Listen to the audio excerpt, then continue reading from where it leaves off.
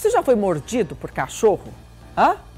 Alguém aqui já foi? Vocês aí, meninos, já foram mordidos? Vocês? Já foi, Lucas? Foi, Igor? Já foi mordido? Onde? No braço? Foi preciso tomar o soro? O soro antirrábico? Pois é, porque assim, gente, eu nunca fui mordida, graças a Deus, mas uma das primeiras providências a se tomar depois de uma mordida de cão, seja ela grave ou não, é porque no caso do Igor aqui ele errou, viu?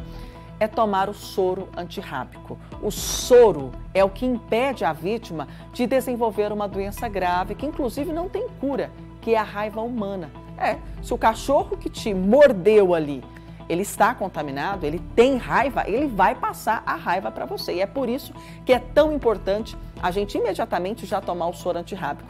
Mas sabe qual que é o problema? O problema nosso aqui do nosso município nesse momento é que o estoque do soro antirrábico está completamente zerado.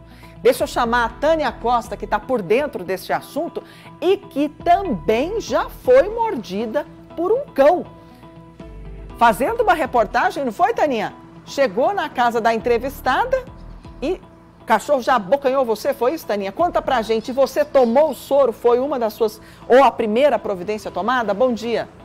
Bom dia, Meire, bom dia a todos. Foi a primeira, sim, viu? Fui fazer uma reportagem quando o portão do, do local, é, que tinha bastante cachorro, uns 15 animais, quando se abriu, um dos animaizinhos veio correndo e veio direto na minha perna. Então tomei uma mordida sim e é dolorida.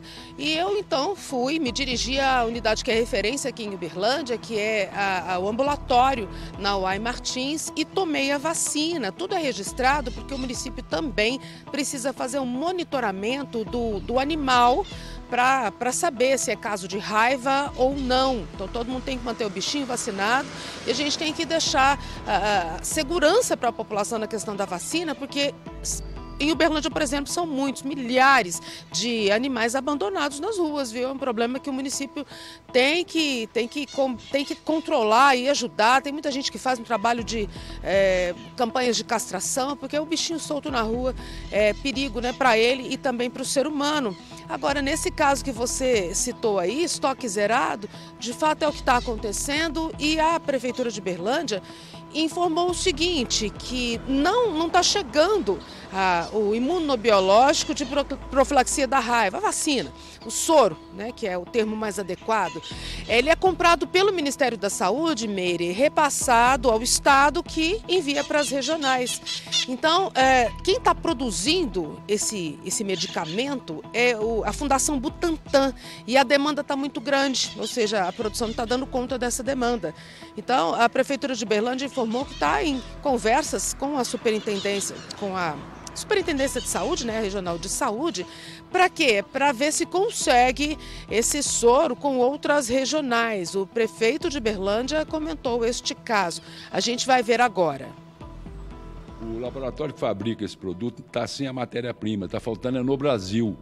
Não é em Uberlândia, não é em Minas Gerais, não. Agora, isso vamos deixar bem claro, é responsabilidade do Estado e nós estamos cobrando. Agora, o grande problema é o seguinte: o laboratório não tem a matéria-prima.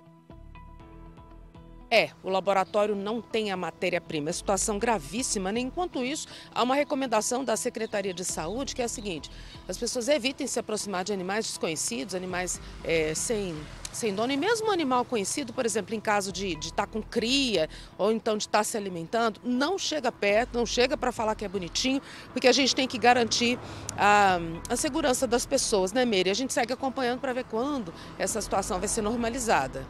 Mas é preocupante demais, né, gente? Muito preocupante. O nosso estoque aqui está zerado. Em outras cidades, pode ser que tivesse aí um estoque maior e por isso, né, essas cidades ainda têm o soro. Mas na nossa cidade, nós acabamos de ouvir aí o prefeito Adelmo Leão falando que não tem, estoque está zerado, que está havendo a cobrança aí por parte do município ao estado para que esse estoque seja abastecido o mais rápido possível. Porque imaginem só, um acidente de uma mordida de cão acontece, né? E pode acontecer. Vocês acabaram de ouvir aqui a Tânia Costa, né? Nós, repórteres, chegamos na casa, eu pelo menos, a primeira coisa que eu faço, eu bato palma e já pergunto, tem cachorro? Ele morde?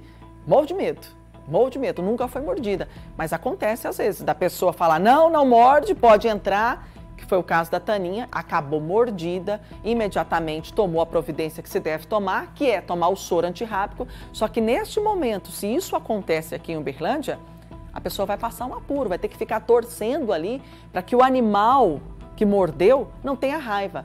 E aí a gente percebe o quanto é importante lá atrás, né, lá atrás, vacinar o animal, deixar as vacinas todas ali em dia, porque pode acontecer uma situação como essa.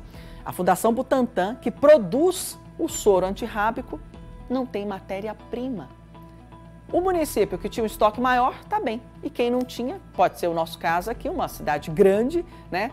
Pode ser que a gente use o soro em grande quantidade, simplesmente não tem. Então fica o nosso alerta, tá? Assim que o nosso estoque voltar à normalidade, a gente noticia para você. Por enquanto, é o alerta, é o cuidado. Evite se aproximar de um animal que você não conhece. Confira ali se o seu animal da sua casa está com a vacinação de raiva em dia.